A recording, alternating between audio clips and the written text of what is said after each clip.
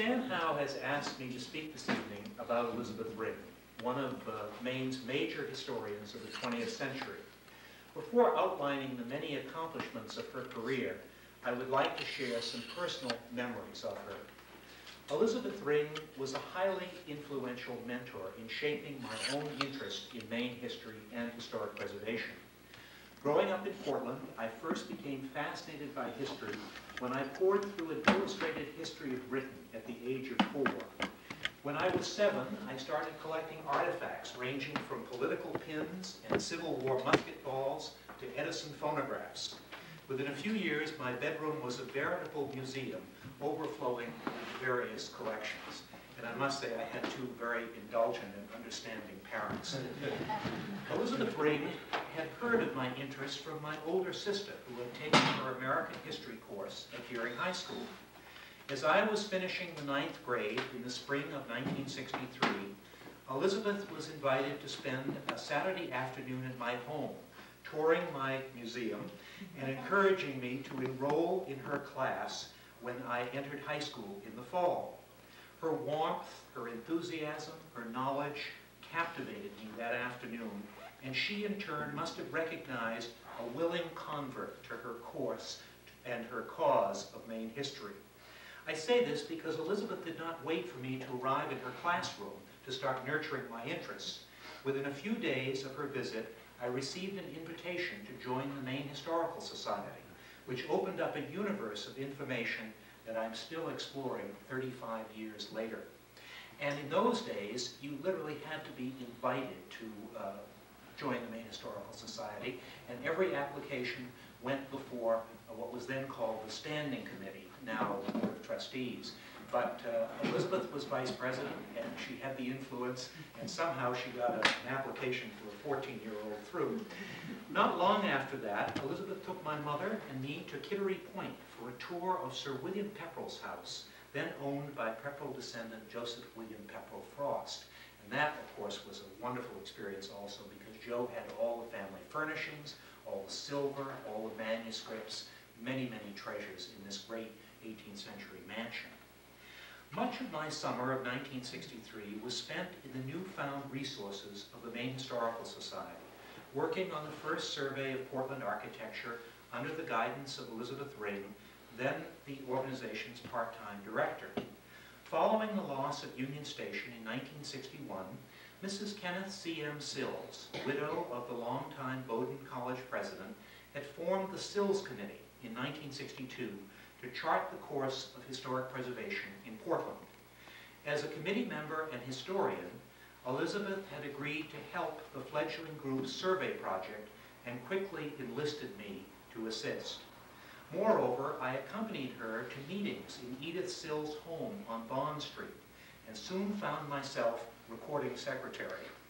The committee would become incorporated as Greater Portland Landmarks in 1964. And I have these vivid memories. Uh, the Sills home is still standing. It was a great turn-of-the-century colonial revival home designed by John Calvin Stevens. And it had the perfect parlor for Mrs. Sills uh, in that uh, it extended the entire length of one side of the house, the, the uh, southern exposure, where it was, it was really just a great place for her entertaining. The Sills Committee's architectural survey attracted the attention of the Portland College Club, which asked Elizabeth Ring to deliver a report about the survey at the January 1964 meeting. As a debating coach, Elizabeth saw this event as an opportunity to develop my skills in public speaking. And thus my first assignment when I landed in her American history class in the fall of 1963 was to prepare a slide lecture on Portland architecture. Expecting a seasoned historian, college club members received instead a 15-year-old high school sophomore who launched his public speaking career that afternoon in January in Mrs. Sills' spacious living room. With the light touch which so characterized Elizabeth's writing style, she reported about the meeting in the February 1964 issue of the Maine Historical Society newsletter, which she edited as follows. Earl Shettleworth's slide talk on Old Portland and the buildings which should be preserved was so well received that he is now on the local lecture circuit and Old Portland is indeed in youthful hands. some, of, some of old slides are on the dark side, but the illuminating remarks of the speaker make up for the want of the sunshine. We modestly claim some credit for bringing together boy, machine, slides, Mrs. Sills, and the College Club. As a teacher, Elizabeth Ring sought to bring relevance and life to history. Her gospel was the interrelationship of local history to state and national events. The need to look at American history from the ground up. She would have agreed with Speaker O'Neill that all history, as well as all politics, is local. Her background and her intellect could easily have qualified her for college teaching, but she chose instead to chair the Deering High School History Department for a quarter of a century touching so many young people with her keen wit and infectious enthusiasm. Her students included uh, Annie Proulx, Pulitzer Prize winning writer, Robert McCaffrey, president of the American Medical Association, David Flanagan, CEO of Central Maine Power, and Congressman Tom Allen. And you have another alumni here. You said, Joe, you said you took her course also. uh, uh, Elizabeth took an energetic, proactive approach to teaching challenging our minds, bringing original documents and period newspapers into the classroom, and arranging field trips to historic sites and to political rallies of the 1964 New Hampshire presidential primaries where we personally met Nelson Rockefeller and Barry Goldwater. And back to those newspapers for a moment.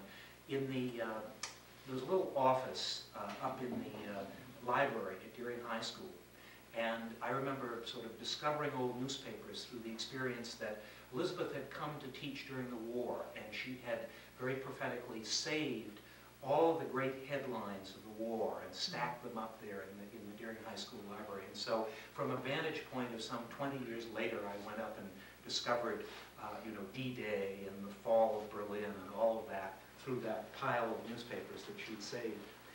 As I graduated from, after I graduated from Deering High School in 1966, Elizabeth Ring and I remained close friends. We worked together in the late 1960s to reform the Maine Historical Society, which resulted in a major bylaws change in 1970. As board members in 1972, she and I co-chaired the fundraising effort to complete Nichols Hall, the Society's manuscript storage facility. And in 1977, she saw her former pupil elected president of the society at the age of 28. She really taught us how to uh, rise rapidly in politics. Uh, turning to the, to the broader picture of Elizabeth's life, the best summary of her career is found in Draper Hunt's introduction to her 1966 book, Maine in the Making of a Nation, which I'm going to draw upon for the balance of my remarks. And I've brought my inscribed copies of some of her books. This was the book that she labored on for uh, really from the 1950s until the 1990s. And it really is her masterpiece. It is a great overview of Maine's political and social history from the end of the Revolution until the beginning of the Civil War. And uh, uh, this, is, this is a book which was uh, published just a, a year before her death. Elizabeth's roots lie deep in the soil of her beloved Maine. Her father, lumberman Edgar Ring, was born, appropriately enough, in 1849 in a lumber camp on the Penobscot West Branch. He carried on the lumber business in Orono and served as Maine's forestry commissioner from 1901 to 1910. And she used to tell very proudly about his personal friendship with uh, Gifford Pinchot, who was Teddy Roosevelt's um, great uh, forestry man. And uh, the fact uh, that some of the things that her father did as a pioneer in forestry management were adopted nationally in that progressive period. Elizabeth's mother, Laura Andrews of West Rockport, earned her teaching credential at Castine Normal School in 1880, then moved west to teach at Pueblo, uh, Colorado in secondary schools. And uh, it was the time when Colorado uh, gave women suffrage. I think it was, what, the first state in the nation to do that. Wyoming was. Wyoming also, Colorado, Colorado did, was second maybe. And so Elizabeth, I think very early had instilled in her, you know, the concept of uh, of uh, uh, women's rights and, and feminism.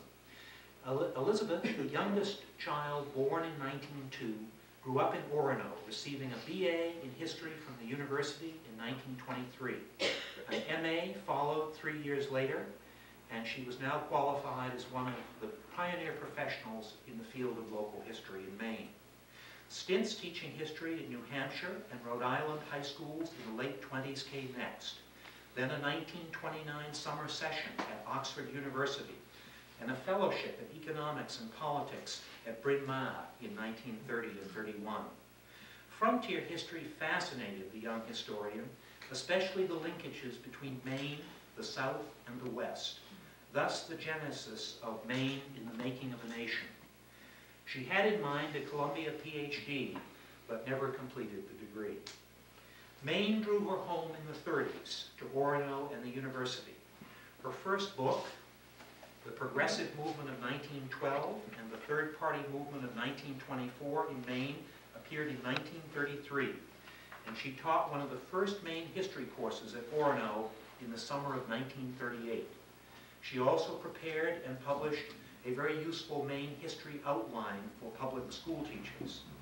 She moved to Portland in 1938, serving as state research editor of the Historic Records Survey, and helped to prepare a number of important publications based on the study and preservation of town records.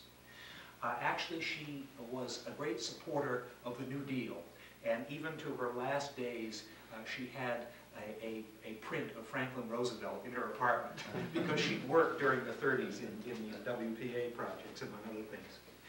Ultimately, her landmark reference list of manuscripts relating to the history of Maine was published in between 1938 and 41. And summers, she taught Maine history at Bates.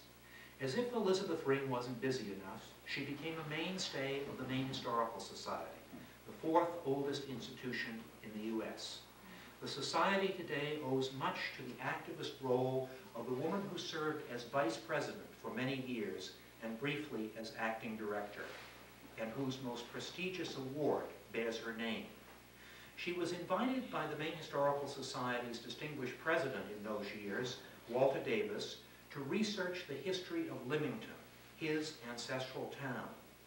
He introduced her to the vast treasure trove of documents which she organized and transcribed in Limington in 1941 and 42. In the late 40s, the Portland Sunday Telegram published her articles on Limington's changing land, people, and attitudes. And the growing fascination with the town and its residents led her to pursue research trips to the South and the West.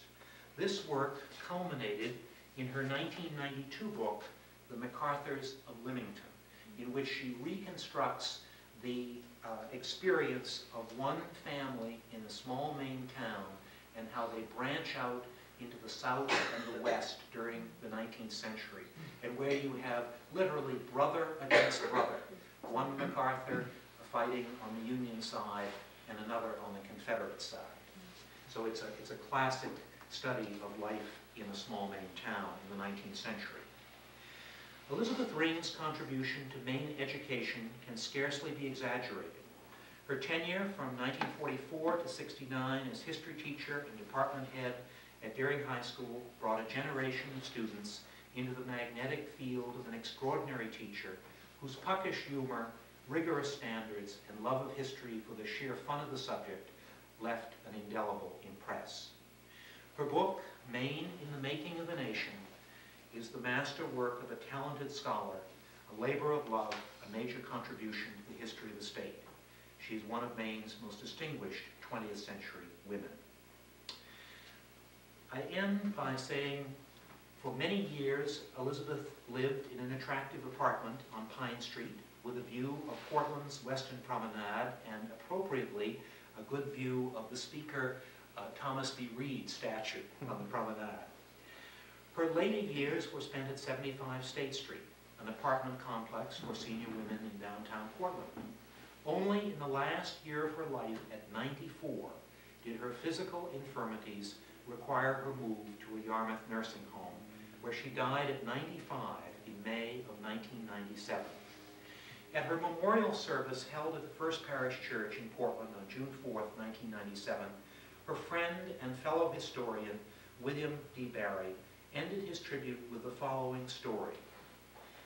While researching during the 1950s, Elizabeth was driving through the Dakotas when an ominous car came up behind her.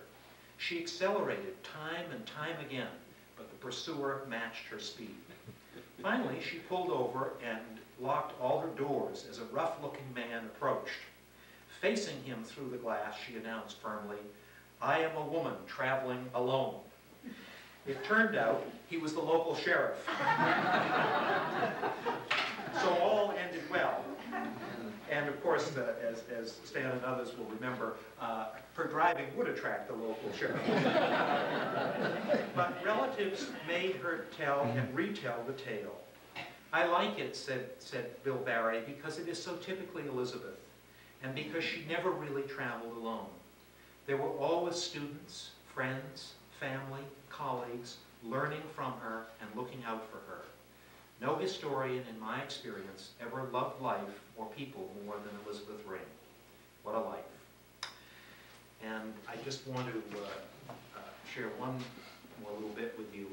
Uh, in addition to the books which I brought along, Maine in the Making of the Nation, MacArthur's, The Progressive Movement, um, she did quite a number of important essays, and uh, she was uh, one of the people privileged to know Fanny Hardy Eckstorm, who of course was um, so important in recording the traditions of the Native Americans uh, in, uh, in her writings.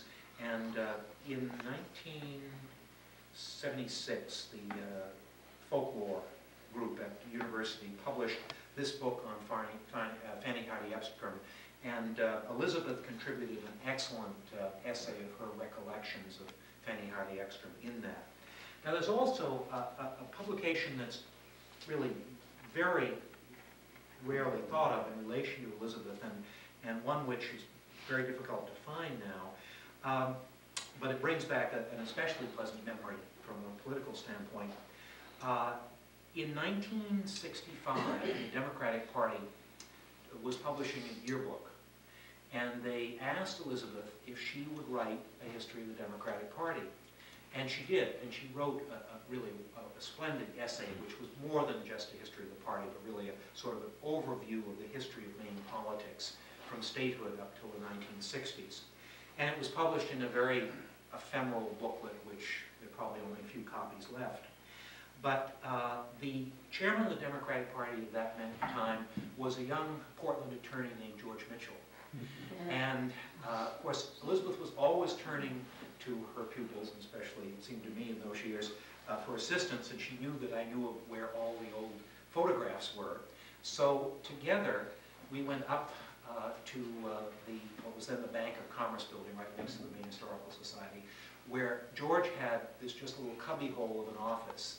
Uh, and uh, we went to discuss with him um, you know, what this manuscript might entail, how long it should be, how many pictures he wanted, and so on. And, but I will, I will never forget that experience. That's the first time that I, I met George Mitchell.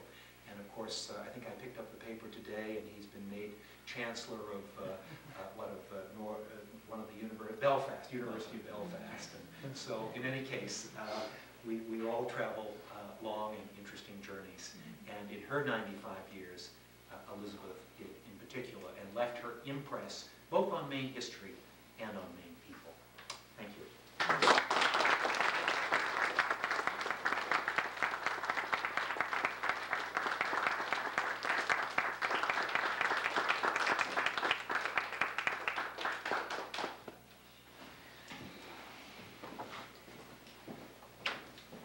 Okay, uh, thank you very much for a very interesting second address. I think all we have left is our refreshment uh, discussion. Now, where, over here. You're the second featured speaker of the evening.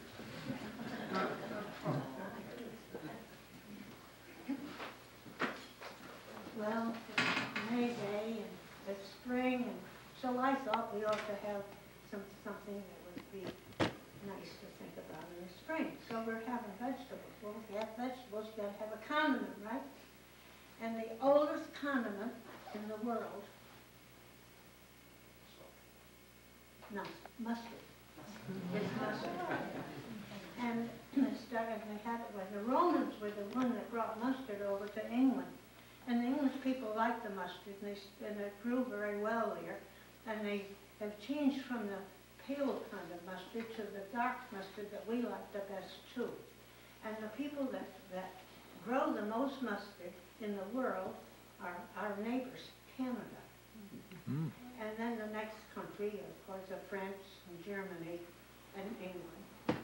Well, in England, after the Romans brought the, brought the mustard to the, that country, the way that they ate it was they took the seeds and they pounded them and they made it into a little ball. And sometimes they would mix it with horseradish. And then it would dry and they could take it from place to place very easily. And after, you- when you got your hard ball, you would mix it with some water or grape juice or just, and then it would make a little paste, and then you could eat it that way. Well, for a long, long time, they did it that way. And then in the seventeen hundreds, a woman in England discovered that she could grind it. And if she ground it, it should make like a little flour. And then when you added your liquid to it, it made a very nice paste. And so the man that tried to the mill, he had a flour mill by the name of Mr. Colman. And Mr. Colman made a lot of the mustard that way. And he made it so well that he just took it over. And we still see his yellow cans today. He has the, the soft, powdery, flourish type of mustard that we use today. Well, over in, then, in this country, we use the, the mustard in, in different ways. And we found out that it's very successful, used with different foods. And then I'm going to skip some of this and tell you that right over in Maine, we have a company up in Eastport that always ground mustard. But she did it for the sardine factory, her family did.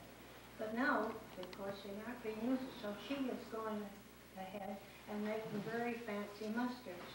And she has teamed up with a, a country, with, with a company that's making wine, and she's making very special mustards we're having, so we're having some kind of mustard tonight.